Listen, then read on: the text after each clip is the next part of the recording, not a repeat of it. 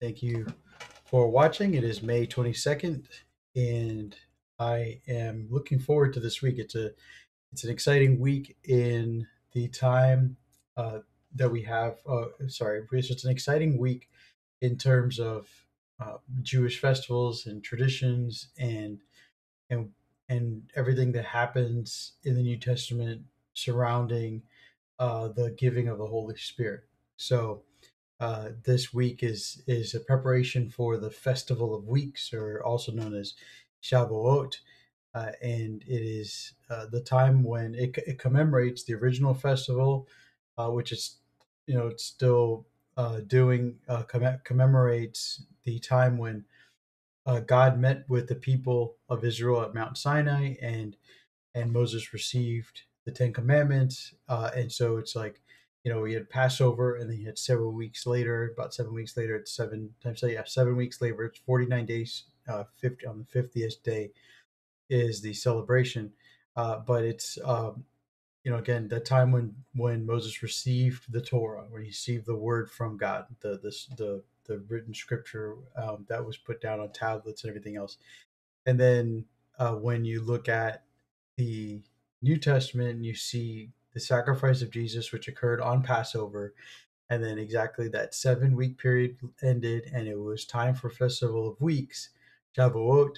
Uh, then and the disciples, everyone were gathered uh, together at the temple, and the Spirit came down. Uh, so, uh, and and which is the Word of God, right? The Spirit of God, and then they started speaking and in and sharing the good news with the people that were there and everything else. So really cool event and it's commemorated uh, the the date for it is this weekend i think on the 28th the 27th is the eve of shabbat and so i started read or sorry not shabbat shavuot and so i started to read uh, some of the portions yesterday to familiarize myself with the material and so I think uh, definitely get into it uh, later this week. For now, we're going to finish up the I am statements in John uh, today we're going to cover two because they they go together. Uh, they're they're taught hand in hand by Jesus. They're they're they're stated by Jesus. I just wanted to make uh, mention. Uh, you know the reason why these I am statements are considered to be significant is because of how God revealed Himself to Moses in that burning bush. If you remember Him saying, "I am who I am," when when Moses asked, uh, "Who should I say sent to me, you know. I gotta. I feel like I have a, sneeze. It's like about to come out, but uh, and Jesus. Whew, all right, hit the mute button. So I think I saved myself there. But uh, so in God's response to Moses was, "Tell them I am who I am." Right, and that's where we get the the name the name Yahweh. Uh, and and so that's why these I am statements are considered to be significant part of John's writing, uh, because Jesus is showing to his audience and teaching to them, and John is showing to his audience that Jesus is God and that God um, is it's possible for God to be incarnate, you know, and which is a challenge, right? It's always a challenge. Uh, you know, it's like how do we deal with this whole like he's one God and yet there's three persons and he Jesus and the Spirit and all this stuff and and it is it is a challenge to like wrap our heads around all that stuff. Uh, and what John is doing is trying to present to us like the ways that Jesus made the claims and how he identified himself as the Son of God and and and part of that is using these I am statements, right? And if you remember, the point of all the signs was to show us that Jesus is the Son of God and He's the King of Israel. And now with the I am statements, uh, they are further clarifications on exactly who He is, but also linking His existence to concepts and and fulfillments of of ideas from from the from the the or the the old, what we call the Old Testament. And so we're going to really see that highlighted today. We've already looked at I am the bread of life and the connection to the manna in in uh, in the in the Old Testament, and then we saw that I am the light of the world, and we saw the the sections uh, of prophecy um, where you know, Jesus talks about, or God talks about the light of nations coming. And now we're going to be looking at I am the gate and I am the good shepherd. Okay. I am the gate and I am the good shepherd. But for a little bit of context, we're going to start in, in John chapter 9. Sorry, so if you want to follow along, John chapter 9, we're reading starting at verse 35. If you remember this story, uh, we, we covered it last week or, or the week before the the story of the man who was born blind who was healed and so this is the the end of that story and uh, so john 39 35 it says yeshua heard that they had thrown him out finding him he said do you believe in the son of man? Uh, the man answered who is he sir? Tell me that i may um, believe in him. And if you remember from our study back then that was the that's a reference on a man daniel chapter 7 so this is a, a messianic reference. And and so the man just innocently says, "Who is he?" And and in in that story, like he was healed from his blindness, but he never saw Jesus. Jesus put mud on his eyes, and then he went and washed his eyes in the pool of Siloam, and then he had his eyesight back, but he never saw the person who healed him. And so he's that's being revealed to him now. And Yeshua said, "You have seen him. He is the one speaking with you." He said, "Lord, I believe," and he worshipped him. Now, at this moment, you know the way John writes, uh, there's there's constant like there's breaks sometimes that if you're not familiar with like some of the phrasing, the timing of festivals, things like that, you might think that, or or even geography, you might think that it's just like one thing after the other. But remember, his gospel is covering three three years of time. But in this situation, it does feel like everything is still happening in this one setting, and so I find it interesting, and I like to imagine that this man starts to worship him, and he's probably at Jesus' feet worshiping him. That's how my imagination goes, right? I don't know what exactly how he worshipped, if he was just like, "Oh, praise God," and he walks away, or what. But then I like to imagine that he's there at Jesus' feet worshiping, worshiping him. That's just kind of where my imagination likes to go. And in verse 39, Yeshua says, for judgment I came into this world so that those who don't see may see, and the ones who do see may become blind. And some of the Pharisees who were with him heard him and said that heard him say this and asked, We're not blind too, are we? And Yeshua said to them, If you were blind, you would have no sin. But now you say we see, so your sin remains. Now, uh, like I said, I in my imagination I like to think that this guy is there, you know, worshiping Jesus and this whole this conversation starts up right? Now, logically, you know, if this was happening, the, they might have said like, "Hey, why is this guy worshiping you?" So, and they might have stopped it. Anyway, I still like to imagine this guy is there with his Messiah. He's been bo- he was born blind, then for years he was healed.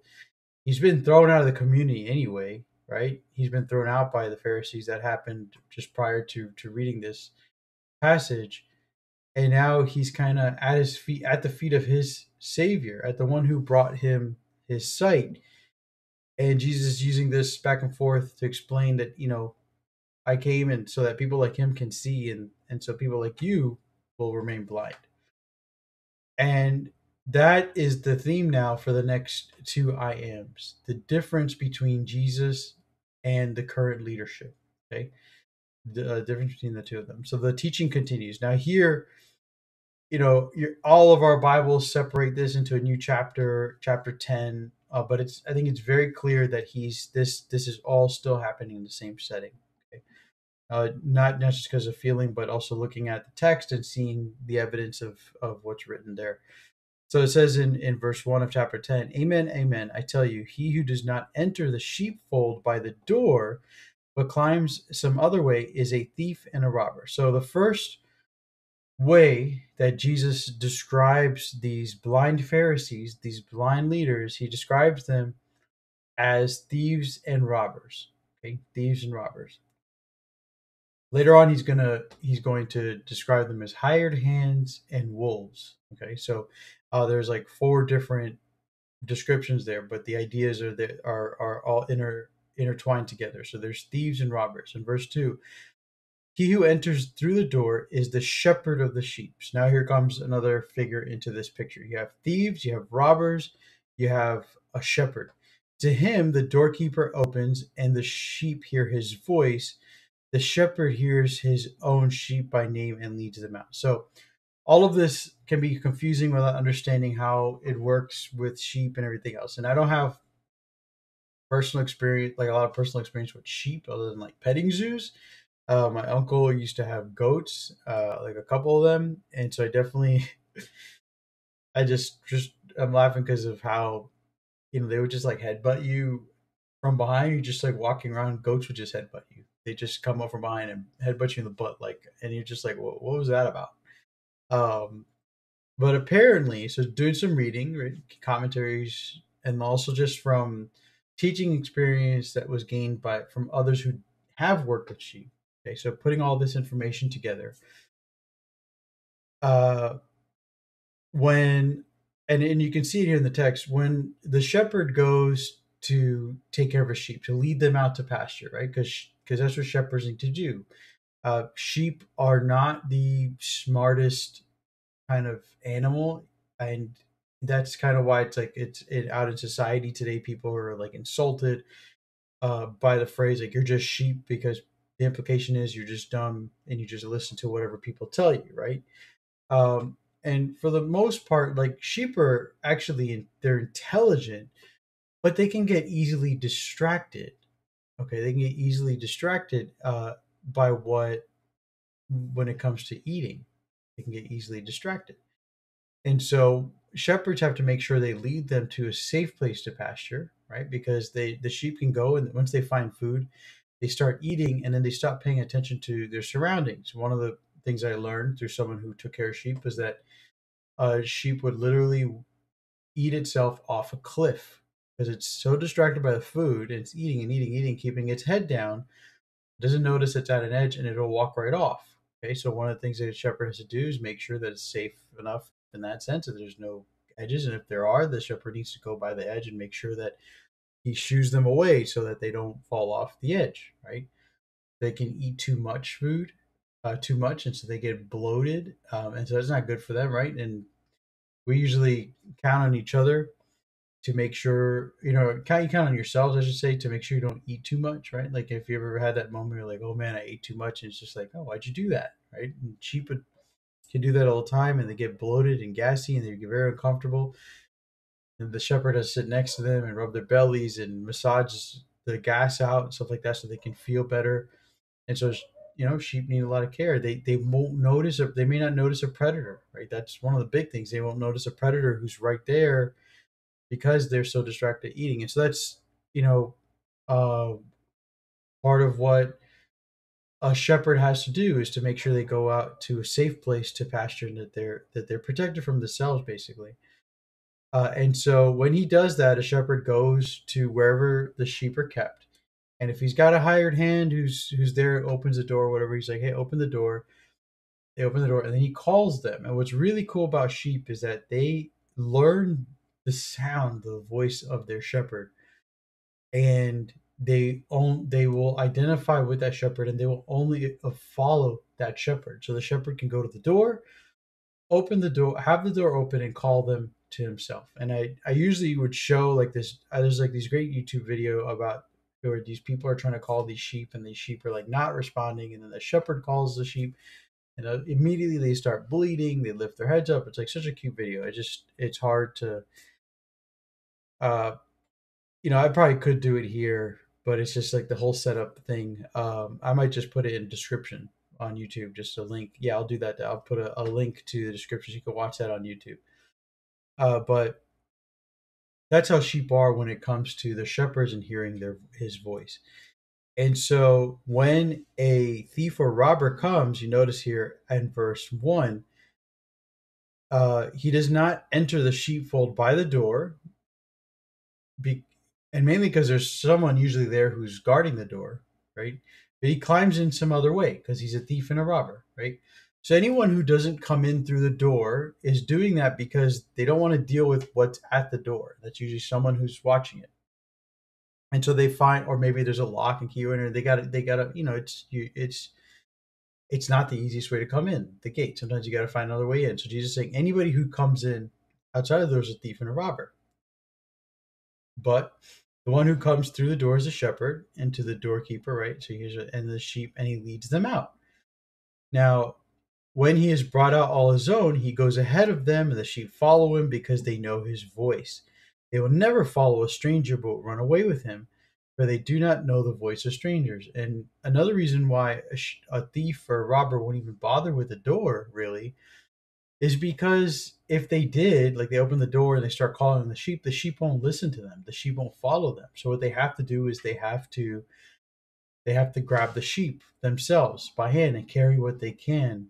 Uh, and so Yeshua, it says that Yeshua told them this parable, but they didn't understand what what he was telling them. So he starts to make a couple of clarifications. Okay, so Yeshua said to them, said again, Amen, Amen. I tell you, I am the gate for the sheep. Okay, so the gate represents a spot that you know where the sheep exit and enter, you know, their safe place, and they go out to pasture, and it represents the pathway for someone who belongs, right? So uh, he said earlier, the thief and the robber does not enter in by the gate, right? And, and I said before, because they may not have the, the, the, key to open the gate, or there might be a hired hand there. So they got to find another way in. But if you're walking in through the gate, then you're they're an approved person, right? And then you're also someone that the sheep are going to recognize. And so he says makes it clear, I am the gate for the sheep. So I am the doorway. I am the I am the lock and key. I am in, I am the access. Okay. And all those, verse 8, who came before me are thieves and robbers, but the sheep did not listen to them. So the thieves and robbers came in. Uh, they didn't come in through the door. They didn't come in through through Jesus. They didn't come in through Yeshua and everything that he represents. They came in in some other way, and then they tried to call the sheep out. And they tried to call the sheep and say, "Come, follow me," and everything else. But the sheep did not listen to them. Okay. I am the gate. If anyone comes in through me, he will be saved. He will come and go find pasture. So what does the thief do if if those who uh they're calling to that that they won't listen to them? The verse 10, the thief only comes to steal, slaughter and destroy. Okay. So once a thief realizes that the sheep in the pasture won't follow them right? They won't just walk out with them. Then they just, like I said earlier, they just have to carry what they can. They grab a couple sheep, or maybe they kill some. They they take their if they have time, whatever. But they have to, they have to by force remove what they can from from the flock, uh, and and we actually see that in in the story that led up to this this teaching uh, and this confrontation, where the man who's born blind um, you know he's being questioned and he's being interrogated about how he was healed and everything else. And so he goes into uh, this this council of of the leadership and they they interrogate him further and he doesn't succumb to the the force uh, that they're that they're pushing on him to declare that Jesus is some evil guy or to admit that he was that he was you know, always had his sight and he's pretending. And so Jesus is fake uh, and he's faking these miracles or whatever the pressure might be. He didn't succumb to it, right? And so they end up they end up kicking him out of their community. And so he's he's a representation of a, a sheep that belongs to Jesus, uh, and also one that the thieves then tried to steal from Jesus, right? But they couldn't do it. So then uh, they can slaughter him or they can destroy him. One of uh, and and so they destroy him by kicking him out of the community. When you get kicked out of the community, I mentioned this before, talking about the community thing, but just to reiterate, this isn't like okay, you're excommunicated from church in the sense that like you can't come here anymore. Then you could just go find another church. You know, when we left our our when I we left my home church, uh, it wasn't because anything I did wrong. is because of of stuff that was going on there and that was abusive. And so we left. And uh, I never felt though that I was put out of the Christian community. Like I just went to another church, and a lot of people do that today.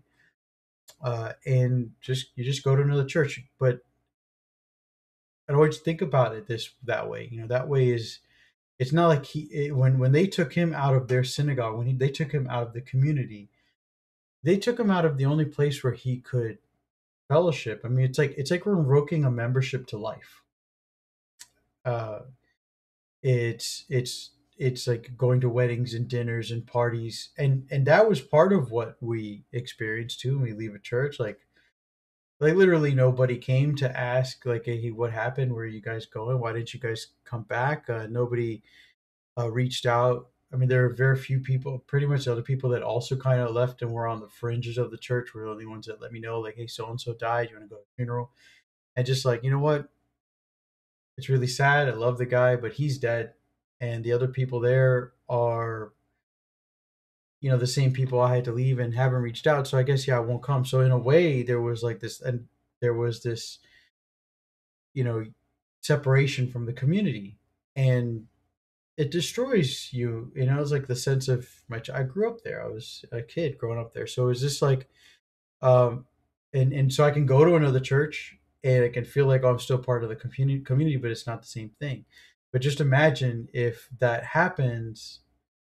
You know, people die. There's weddings. There's there's parties. There's just living life, like I said, and you can't go to it. And then you also can't just go somewhere else. The only other option would be to follow uh, like a Greek god, go worship, you know, um, Ares or something, or or you know, just like do something else, like, and that's just crazy, and find a community there in the worship of another god. That's crazy, right? And so they sought to destroy him, and and then they can also steal. So the thief can come steal, sorry, steal, slaughter, destroy. So they try to pull people into their own flock, like you come follow me, and try to retrain that sheep to follow their voice, or they destroy the sheep altogether, or they can slaughter the sheep. And that's what they plan to do with Lazarus. If you remember, after Lazarus was raised from the dead, their idea was, you know, we got to, not only do we need to kill Jesus, but we need to kill Lazarus too, because he's walking around, everybody could see like he's alive and they, and he was dead for four days. So we need to kill him. And so that's, that's Jesus again. The point of these I ams is to describe the difference between himself and the leadership at, at that's currently there. And then uh, Jesus says in verse 11, or sorry, verse the second half, verse 10, I have come that they might have life and have it abundantly. So he's comparing what they're doing. They're they're trying to steal, slaughter, destroy. He's there to give life and to give it abundantly. Just like with the blind man. He gave his eyes back. Like now the guy can the guy doesn't have to beg anymore. He can do something. He can work. He can live. Uh, he can he can get married. He can have children. Like it's just like crazy. Like he really did give him life and gave it abundantly. Uh, and that's that's the difference between the two shepherds. And in verse eleven, uh, he says, "I am the good shepherd." So he started with, "I am the gate." Like I am the way in and out of this flock. So you've got to come through me. So if anybody who's coming into this situation whether as a leader, a hired hand, or whatever, you got to come in through me. He establishes that. Now he says, I am the good shepherd. And the good shepherd lays down his life for the sheep. And this is where he begins here to foretell his own sacrifice. But he makes another distinction. So the hired worker. Now, this is someone who does enter into the gate, but someone who's different from a shepherd. He says the hired worker is not the shepherd, and the sheep are not his own he sees the wolf coming and abandons the sheep and flees. Then the wolf snatches and scatters the sheep. So now, and, and don't don't miss the point there where he says a shepherd lays down his life for a sheep, and so he's he's I believe he's pointing to the idea that he is our shepherd, right? He is our good shepherd, and he's going to lay us lay down his feet, and we're going to know his voice, and we're going to follow him. He's going to lead us to the pasture.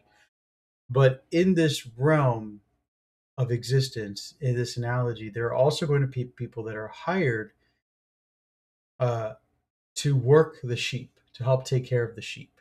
Okay, uh, and he's but he says just to distinguish, like they're not the shepherd, so they're not they're not in terms of like their commitment to the sheep. The hired worker is not going to be there at that level of commitment. Okay, the hired worker is someone who's there to do a job but when situations arise where they're they're they're put in a place where they're challenged and they have to protect the sheep, they're more likely to abandon the sheep, and that's why he gives the analogy of the wolf. And I think the wolf is another uh, it's a callback to the thief and robber. It's to the Pharisees, to those who are outside of the the the shepherd's fold, who try to come and steal, and they do the same thing, right? Wolf snatches and scatters the sheep, and so a wolf comes to destroy a flock and comes to steal from the flock and and to slaughter sheep, and so he's the same as the robber or the thief, right? And so in verse 13, he clarifies says, The man is only a hired hand and does not care about the sheep.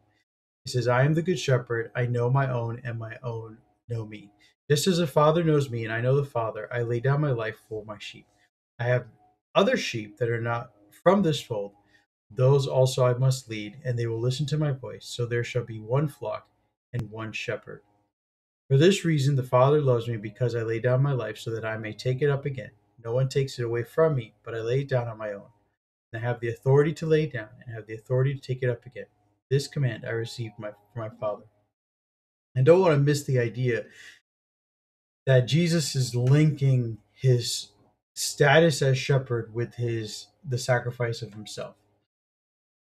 In order for someone to be a shepherd, a good shepherd, that's the level of commitment they have to commit to the sacrifice of themselves for the sake of the betterment of their sheep. You know, when when the wolf comes to attack, when the lion comes, you know, when we read these stories about David back in the Old Testament, and David was taking care of sheep when he was a young man, and a lion attacked and he killed the lion. But you're putting your life at risk to go fight a lion. It's like it's awesome. well he fought But how many shepherds went and fought a lion and then died?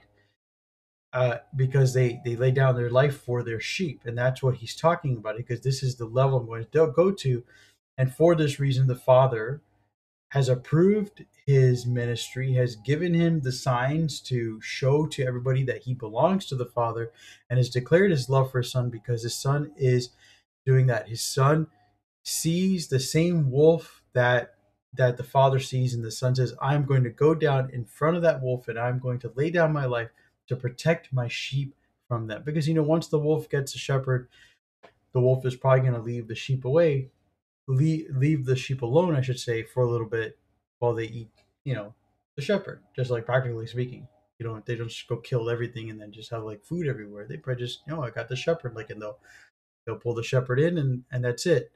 They're done. Uh, the shepherd may have lost his life, but he saved the life of his sheep. And the biggest difference between our shepherd, our spiritual shepherd, and a shepherd who dies at the hand of a wolf who's attacking is our spiritual shepherd could not only lay down his life but also take it back up right? So he could rise again. So that's like a whole nother level there.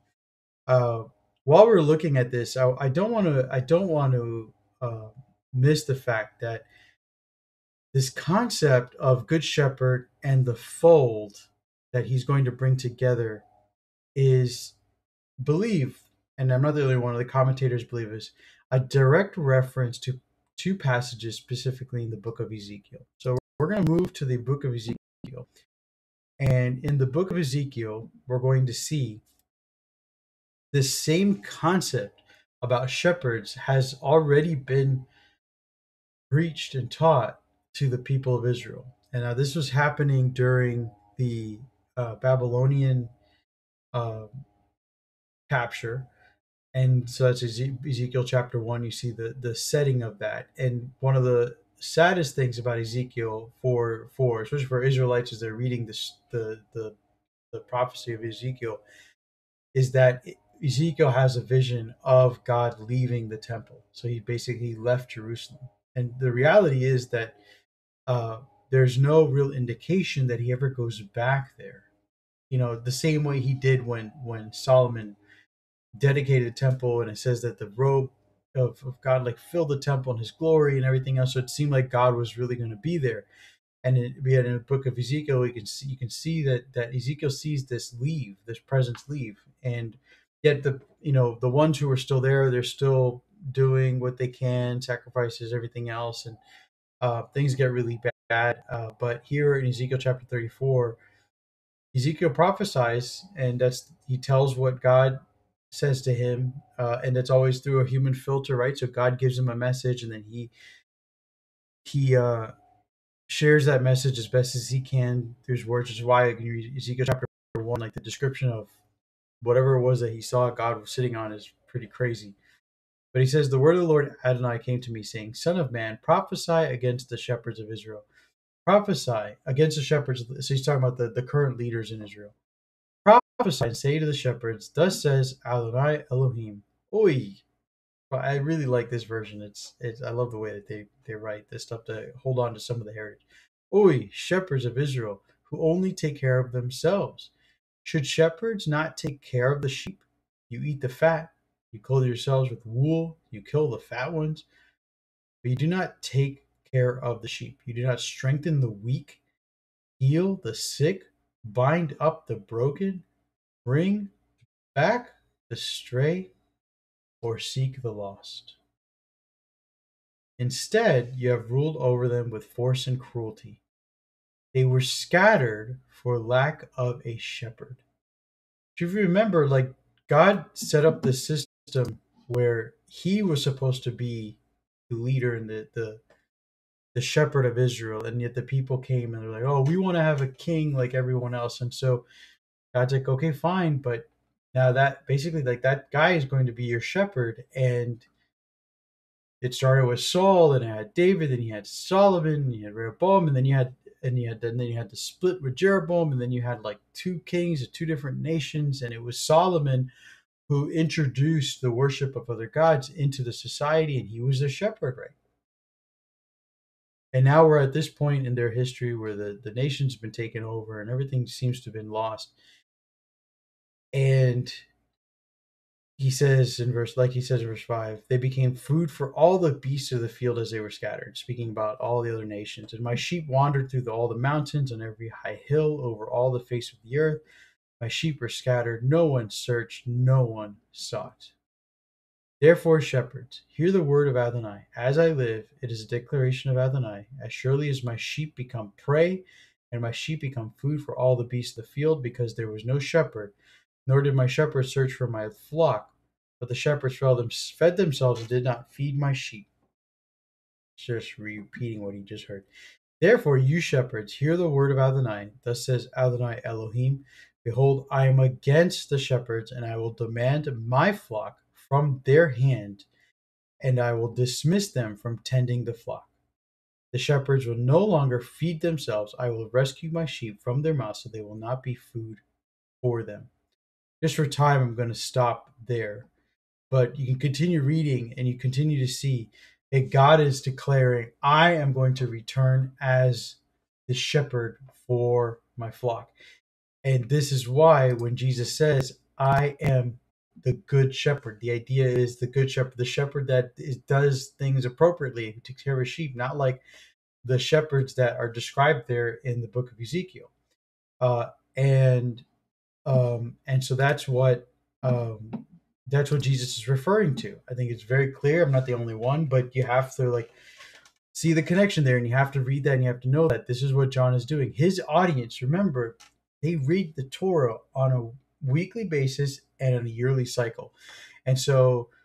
Uh, and it was part of the education system. It was, it was the religious system. It was going to Sabbath. Uh, it wasn't it wasn't optional. It was something that was read out loud. So you go to synagogue, and then you they they and remember these are people that are that are oppressed, and and and so you know when they go to synagogue, it's like where they can hold on to their culture the strongest, right? So they go there. It's like oh, their religious practices. The Romans are going to bother them. So they go there synagogue, and the Torah is being read, and everything else, and so they were familiar with that. And for him to say, and then the Pharisees especially, right? They they study these things uh, and then for Jesus to say, I'm the good shepherd, they are going to understand exactly what that is because they're going to have, they're going to, they're, they've been preaching and teaching this idea about the good shepherd for years now, centuries. Um, and then in verse 15, I should say verse 16, Jesus says, I have other sheep that are not from this fold. Those also I must lead, and they will listen to my voice. So there will be one flock and one shepherd. Now, a lot of people make this to be about Gentiles, about the nations, like people like me. That this is a direct reference to Jesus saying he's going to bring in other nations into this fold. Uh, but if if we're honest about the the context and the connection to Ezekiel, we can see honestly that right now the Gentiles and the nations aren't part of this conversation. Okay. Right now, this is a reference to Ezekiel. This is a reference to the concept of a good shepherd that we saw in Ezekiel chapter 34. In Ezekiel chapter 37, there is this passage about the reunification of Israel that we need to look at. And I've, I've read I've looked at it before, but we're going to actually read it this time. Uh, and so it's Ezekiel chapter 37, starting in verse 15. And if you remember, then when the Assyrians first attacked and they first came in, they captured the northern kingdom of Israel. And they did this assimilation type thing where they they take the women and they have children with them, they intermingle them with their own people and and they do the same thing with the men. It's like here's our women and and so the Assyrians way of conquering was to to completely assimilate and blend in literally blend in people together. Babylonians were like, we're gonna we'll keep it separate. You're you, we're us. These are your people. This is our people. We're just gonna take the best that you have and use them for our own purposes. Right, Daniel. Um, and so by the time we're in Jesus' time, the northern part of Israel, everyone's blended in, and the people in Judea had a tendency to look at them as the Samaritans, the the mixed blood people, right? Not really Jewish. That's what is happening and so in verse 15, the prophecy, going back to Ezekiel chapter 37, says, The word of Adonai came to me, saying, You, son of man, take one stick and write on it for Judah, for Bnei Israel joined with him. This is for the children of of uh, children of Israel. So one stick with Judah. Then take another stick and write on it for Joseph, the stick of Ephraim, and all the house of Israel joined with him. Join them one to another for yourself as one stick, so they may become one in your hand. So you have this representation. Here's Judah, and here's all the other kingdoms represented by Ephraim and, and Joseph's um, son, uh, one of his sons. When the children of your people speak to you, saying, Won't you tell us what you mean by these? Say to them, Thus said Adonai Elohim, Behold, I will take the stick of Joseph which is in the hand of Ephraim and the tribes of Israel, joined with him, and I will put them together with the stick of Judah and make them one stick. They will be one in my hand. The sticks that you write on will be in your hand before their eyes. So it's like this miracle is going to happen where Ezekiel writes on these sticks, and then they're gonna he's gonna put them together, and they're gonna become one one branch, one stick, right? Then say to them, says Adonai, Behold, I will take Bnei Israel from among the nations. Where they have gone, I will gather them from every side and bring them into their own land. I will make them one nation in one land on the mountains of Israel, and one king will be king to them all, or a shepherd. They will no longer be two nations and never again be divided into two kingdoms. They will never again be defiled with their idols, their detestable things, or with any of their transgressions. I will save them out of all their dwellings which they have sinned. I will purify them. They will be my people, and I will be their God. My servant David will be king over them. They will have one shepherd. And he continues from there. This is what Jesus is referring to in verse 15, six, in verse 16. Uh, I have other sheep that are not from this fold. This fold, speaking of you, Judeans, remember he's there in the south, uh, and those also I must lead, and they will listen to my voice, so there shall be one flock and one shepherd. Direct reference again to Ezekiel chapter 37, verse 24. And the quoting of Ezekiel is also significant, or the references to it uh, in John's gospel, because again, these are this gospel believed to be focused, written towards the Samaritan Jews, to those who have been assimilated. And the book of Ezekiel is like one of the greatest books of prophecy for them because it shows, as we just read, that they are not forgetting but God, that He is going to bring them back together, that He is going to reunify them. And when Jesus says that I have many that are, or in the, I should say in Ezekiel, when it says that they're they're scattered throughout the nations, it's called the diaspora. And that speaks to how the disciples went out to share the gospel they sought out jewish synagogues in different places like like paul uh, at Berea. That's like the famous example of Paul and Berea in Acts chapter 17, where he goes to synagogue, he tells them about the Messiah, about how Jesus is the Messiah, and then it says that they study the scriptures on their own. They're like, okay, we're going to study this. We're going to study what you're teaching us from our scriptures and see if it holds water. And and they believe and so there's a big subsection in in our movement in the in our denomination the plymouth brethren that they, they like to equate themselves with the with the bereans uh, those who you know they hear something like okay i'm going to go study this and see if this is true not just take someone's word for it and uh, i hope i hope everyone i teach does the same thing i tell my students always i've always told them hey whatever i say from scripture whatever you say like we're going to check each other and and I think this is the the teaching here. I think this is very clear of what Jesus is doing. He's he's saying, um, and again, the the the idea of the guy worshiping his feet this whole time. That's just my imagination. That's where my my imagination goes. I don't know if that. I don't think that's really supported, but that's just where my mindset is. But whatever it is, Jesus is there. He's he's just received worship from this man who's torn, turned blind who was born blind, I say, and was now healed. And he makes a comment about how he came here to give sight to the blind, and then for the for those who think they see to realize that they are blind. The Pharisees ask him, "We're blind," and then he goes into this explanation to them explain how yes, they are blind because they they can't hear his voice. They can't hear his voice because they don't belong to his flock. They don't belong to his sheep.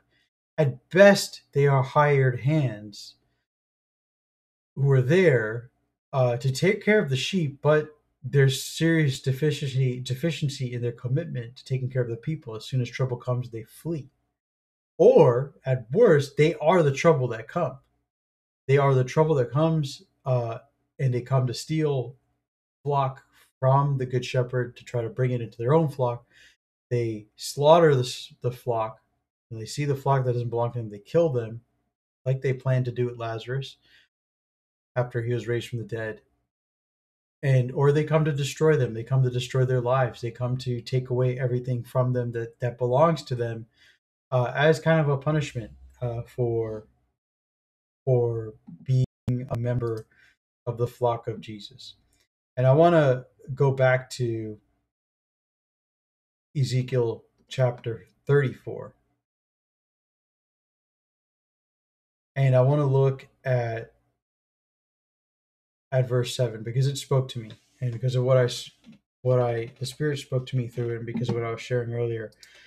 Um there is judgment for those shepherds who do not take or those who call themselves shepherds, I should say, because right now in this established society like of community of, of yeshua we don't have shepherds we have one shepherd. Uh, the idea of what we have out there now taking care of us is kind of like the hired hand or a sheepdog you know. I, I like the picture of a sheepdog. A sheepdog is is someone who's supposed to a sheepdog. If you ever maybe i'll find a video and put that in the description too but a sheepdog is supposed to do exactly what the uh, shepherd tells them and there's really uh, there was this viral video that went out of these sheep that were stuck. They couldn't get up this ramp to enter into a pen because at the very at the entrance of the pen, it was going up a ramp, and then at the entrance, uh, a couple sheep got stuck together. So then all the other sheep are like trying are behind it, trying to get up, and it's just traffic jam, right? And so the shepherd directs the sheepdog like go go fix that, whatever the command was, and the the dog runs on the backs of the sheep because the sheep it's like a it's like a path it's a, a, ramp that only two sheep can go side by side on. And he runs up their backs up to the two that are stuck at the front and he with his mouth he gets one to go through and the other one and then they just start to go through.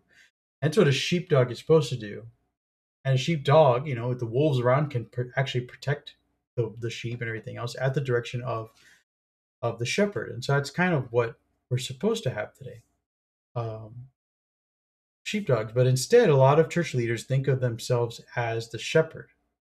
Problem is, they're not willing to lay down their lives for their sheep. Instead, they're more likely to do what Jesus, or sorry, what Ezekiel prophesies about here, what God says about the shepherds of Israel. It says, As I live, is this is verse 8, is a declaration of Adonai, as surely as my sheep became, became prey, right? So whatever might have been happening in the church with me, I I was becoming a target, right?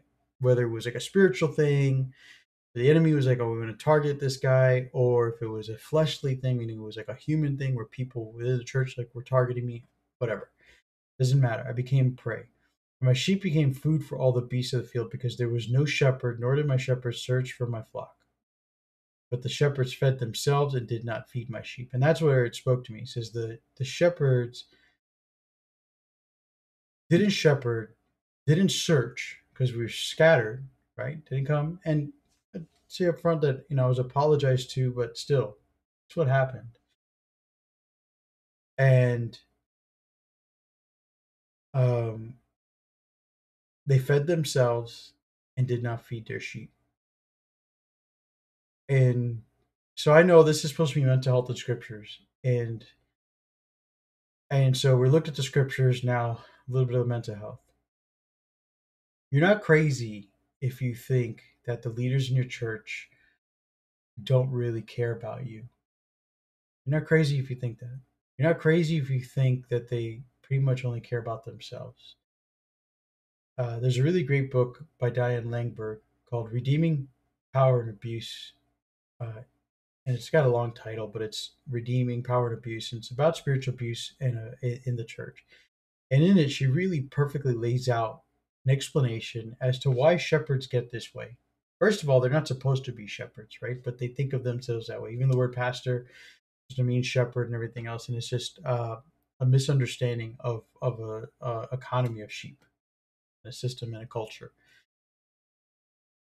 But um, you're not crazy if you think that. You're not crazy if you feel like there are people, even leadership in your church, who are like kind of out to get you. You're not crazy if you think that you're not safe in a place. Uh, because a lot of shepherds aren't trying to protect their sheep. They are there to protect the pen. They're there to protect the pasture. They worry more about the greenness of the grass of their fields and the wood on their barn and the paint and and and how that looks rather than what uh, who lives in it and who's being cared for in it. And if an occasional sheep goes wandering away or scattered because of because a predator came in, a shepherd doesn't take the time to go and find them because they've got plenty of other sheep to look for. Jesus asked, like, how many of you wouldn't leave the 99 to go get the one, right? My experience, a lot of them would leave, not leave the 99. They would let the one go and just be like, all right, I got my 99 still. And so you're not crazy for that. And, uh, you know, I've, I've heard other people kind of put down the idea you leave a church or whatever. Uh, certainly we, we did that and we went somewhere else and and so maybe biased in that sense. But what we were searching for every time we went someplace was a safe place for our family, for leadership that did not consider themselves shepherds, but instead considered themselves sheepdogs that are there to do the will and the command of their good shepherd and really it's like ultimately it's like do you believe that you have one shepherd that we all have the same shepherd and that you're going to follow him? That's what we were looking for. And we did find that you know but it was online and and and so we ended up going back to the original church because we heard things have changed there. And so now we're kind of this like a testing period to see what the leadership is like. Have they returned to what i remember when i was growing up with certain leadership? Have they returned to the concept that there is only one good shepherd? And for my own mental health, like it's it was important to learn that I could leave and walk away. I used to just sit there and just take it, take the abuse and whatever. And it was so bad for me, just the anxiety and depression, sadness and the pain and the self doubt and the anger was big, the shame. And uh, finally I had to like separate myself and learn okay how to heal from all that and then to come back into it with eyes wide open and to say, I'm here. I know who my shepherd is. I am wondering if this flock belongs to him. I'm wondering if the people here are hired hands that are working, or are they thieves and robbers? Um, and if they are hired hands, are they dedicated like a sheepdog would be? Or are they dedicated like someone who is going to run away once there's trouble, right? Um, and now I know that my shepherd never left me. My shepherd always stayed with me.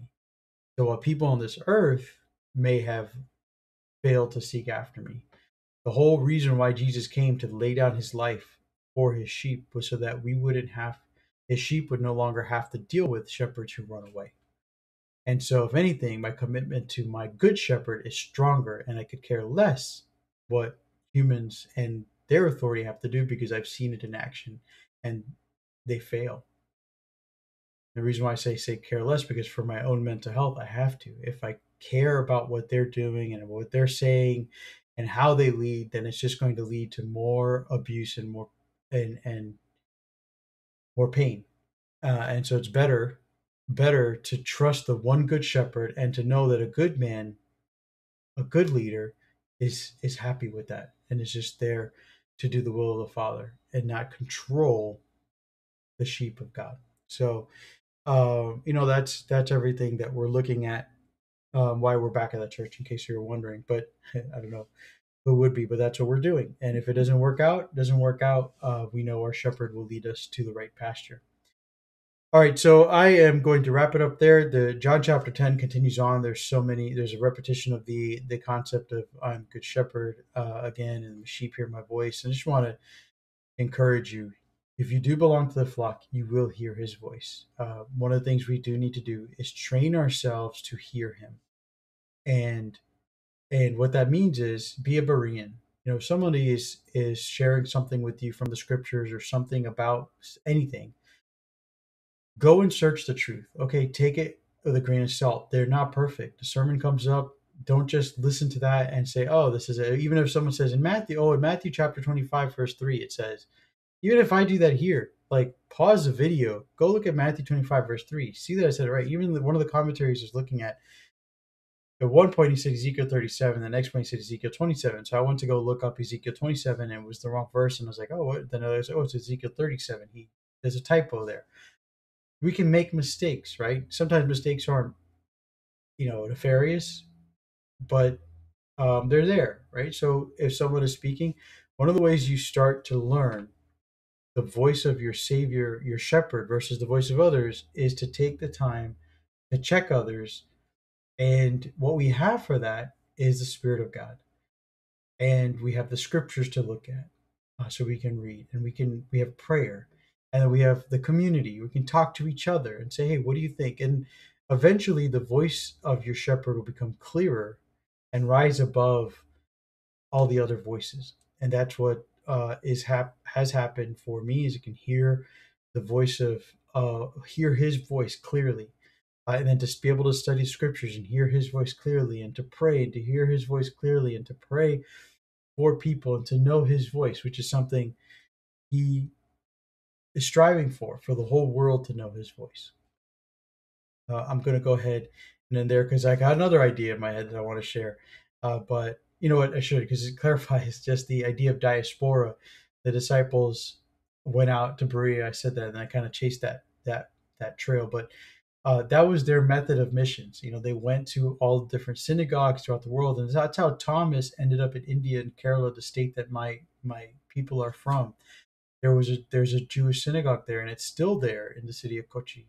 Uh, and um, and so Thomas went there to seek out the diaspora, to seek out the lost ones of Israel, the ones that have been spread out into other nations. I can imagine like him going there, and they speak Malayalam or you know the iteration of it from back then, and then they probably received it and then he now it was kind of the the thing was like if the synagogue receives okay and then they would go out to the gentiles in the area right that was their point but first was to seek the flock of israel and so i think that's really important that we all something we need to all pray about is to how to reconnect kind of go back that way reconnect with with the sheep of israel because they still feel scattered. They still feel spread out. I know there's a lot of messianic believers and there's a whole community and they're doing good work and they're in Israel and and and they're sharing the gospel and so there are believers in Jesus and they have their own name there. I forget what it's called. Uh, and those efforts are growing. But if you can find a way to support that just by reading about it, looking it up, or wherever the voice of this your shepherd leads you, it's a it's a good thing. Um, anyway, okay, so I'm done. Thank you again for watching. Um, like and subscribe. Excuse me, like and subscribe. Follow on Twitch. Like and subscribe on on on YouTube, uh, and share with your friends, your family, anyone you think would benefit from this kind of teaching that will enjoy it.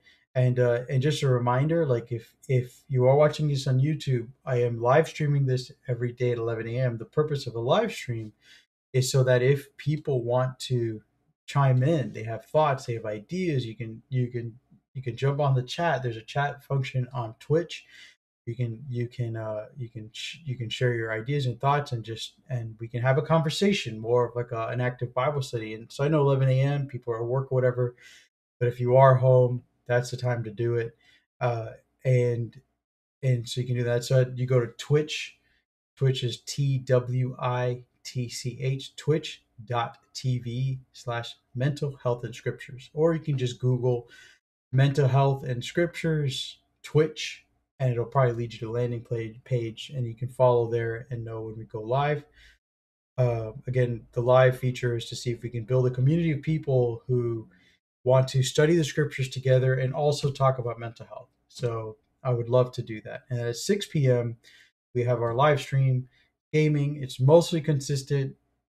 Um, sometimes, and I do that with my daughter uh, and try to talk about some of this stuff in a practical way with her. Uh, and and you know she's seven, so sometimes uh, she doesn't want to do it, and and so if I can do it on my own, I'll do it on my own, or maybe my wife will join me.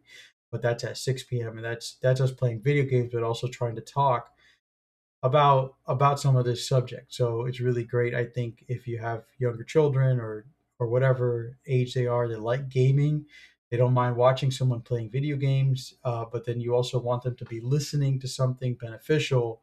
That's what the purpose of that is for at 6 p.m. Thank you again for watching, and God bless, and uh, happy Monday, and looking forward to Shavuot, the Festival of Weeks.